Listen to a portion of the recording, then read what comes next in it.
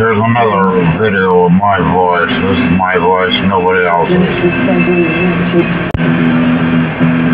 Other than them trying to simulate Emily or trying to talk at the same time when I'm trying to talk. Other than that, this is my voice only.